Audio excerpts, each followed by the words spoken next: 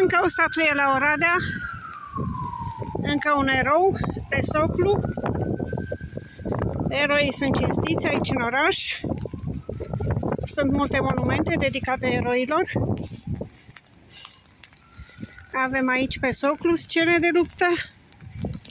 S-a lăsat seara, adevărat.